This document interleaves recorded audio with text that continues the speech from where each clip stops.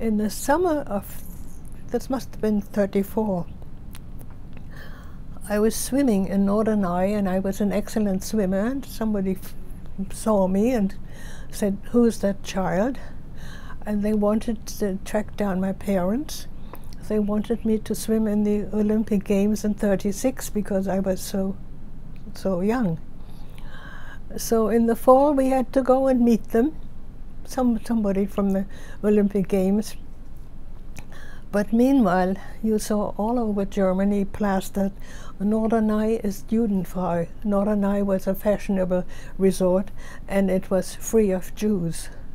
So when they, they came, they interviewed my mother and then they came to interview me.